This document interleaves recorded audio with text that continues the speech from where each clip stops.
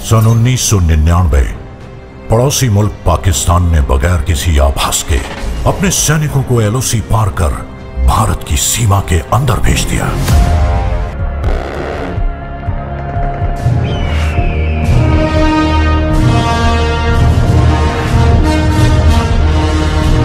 सरजमीन हिंदुस्तान, तेरे उन जानिसारों जामाजों शहीदों और मुहाफिजों सलाम सलाम है सलाम है।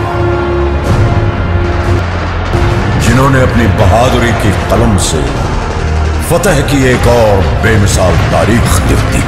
हम शांत चाहते हैं ये तो दुनिया ने देखा।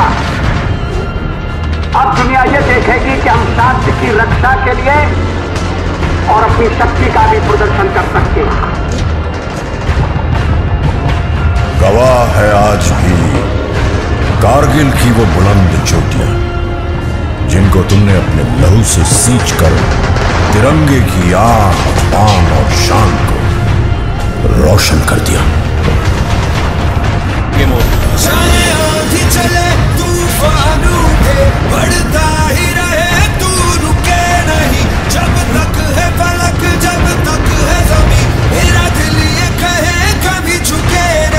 अगर मुझे अपने खून को साबित करने से पहले मौत आ गई तो कसम से मैं मौत को ही मौत की नींद सुला दूँगा।